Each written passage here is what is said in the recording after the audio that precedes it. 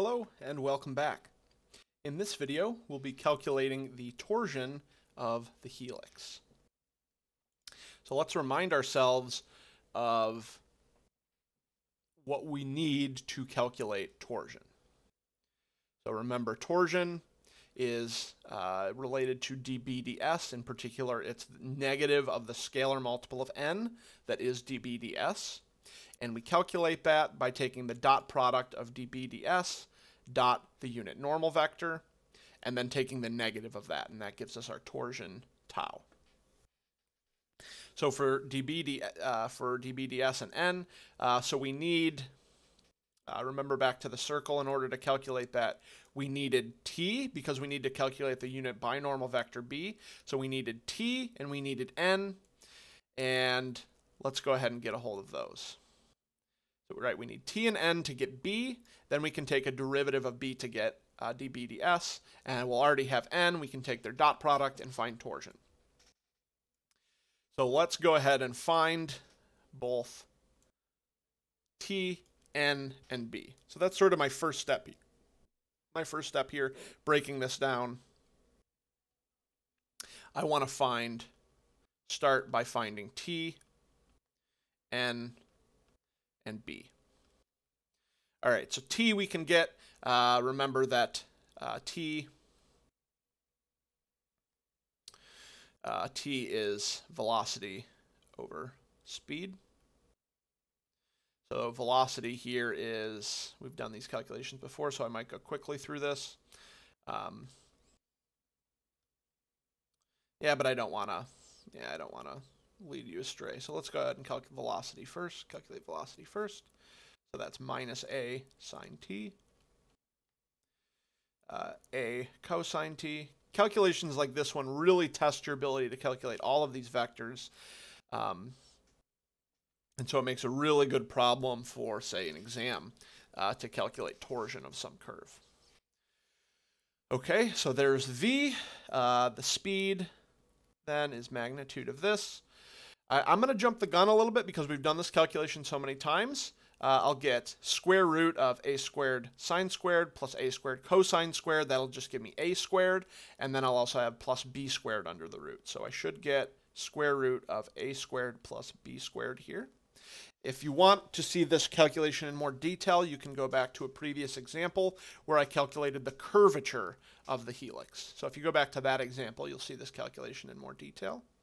So that means t is 1 over square root a squared plus b squared times velocity. So minus a sine t, a cosine t, b. All right, let us remember what how to calculate n. So we've got a hold of t, that's great.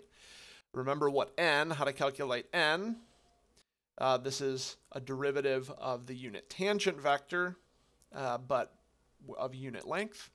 Remember that n is dt dt divided by magnitude of dt. That's one way to get a hold of it. Or if we're doing arc length parameterization, we could do 1 over curvature times dt um, ds. Okay, so let's see. Let's calculate a derivative of the unit tangent vector. So dt, I'm going to do it with respect to t, our parameter. dt dt will be, so we'll still have this 1 over square root a squared plus b squared. And then a derivative here will yield minus a cosine t, a uh, minus a sine t, and finally 0 for the z component. Uh, the magnitude of dt dt then. Here I'll get a squared cosine squared plus a squared sine squared, so that's just square root of a squared. We're going to assume a is greater than 0. I keep forgetting to write that assumption. We'll assume a is strictly greater than 0, so that square root of a squared is just a, and so we get a over square root a squared plus b squared. Again, I did this calculation in more detail when we computed the curvature of the helix, so you can jump back there if you need to. So that means n now is this guy divided by this guy. And remember, some nice things happen there. Uh, I'm dividing by square root, uh, or I'm dividing by 1 over square root of a squared plus b squared. So that'll cancel off here. Again, this happened when we did curvature. And then I'll be dividing by a, and that's going to cancel off the a's here.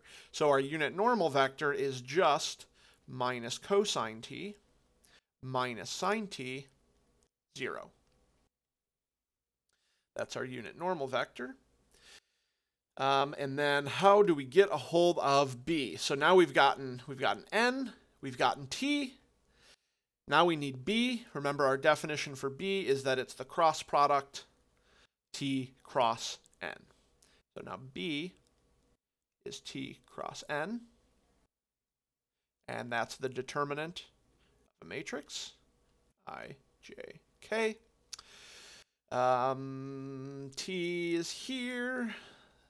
One thing I can do is pull out this 1 over square root of a squared plus b squared. Yeah, let me keep that. I'll keep that along. So I'm going to I'm going to actually distribute that through to each component here. So I'm going to have minus a sine t here divided by square root a squared plus b squared. And then in the j component, I'll have a cosine t, again divided by square root of a squared plus b squared. And then in the k component, I have b over square root a squared plus b squared. n is this guy, minus cosine t minus sine t. So minus cosine t minus sine t, 0. And let's compute this determinant. So let's see, in the i direction, I'm looking at the determinant of this 2 by 2. That times that is 0, so minus this guy times negative sine t. So that's going to be a positive b over square root a squared plus b squared uh, times sine t. And that's in the i direction.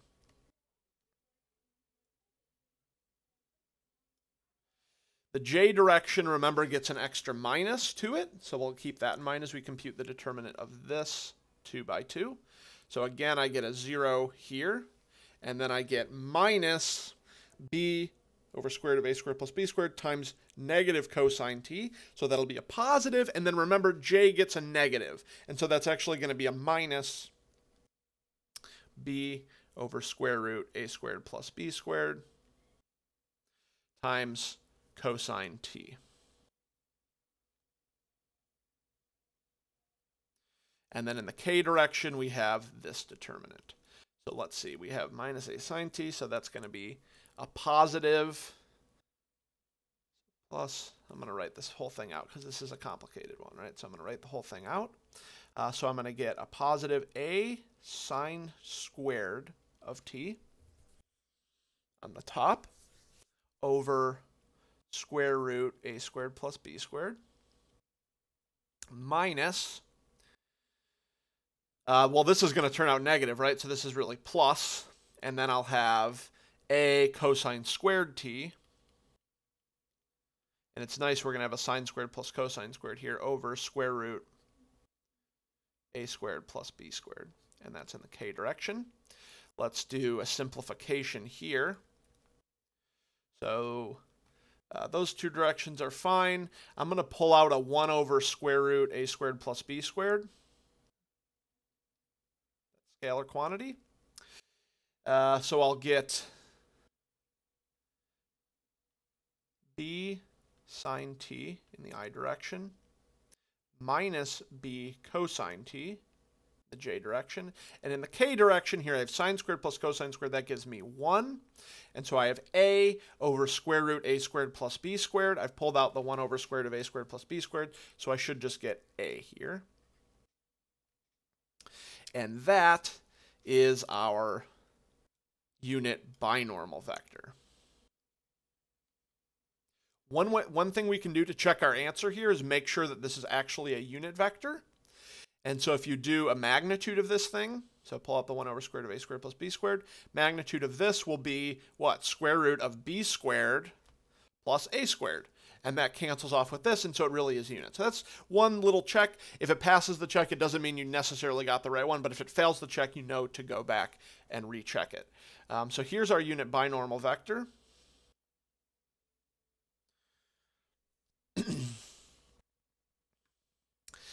and we want dbds now. So remember remember what we're trying to get after here. The dot product of dB ds with n is negative the torsion. So we want to get a hold of dB ds. Notice we we're parameterized in terms of t, which is not necessarily arc length parameterization. And so to calculate dB ds, we can use the chain rule. So dB ds, um, or rather,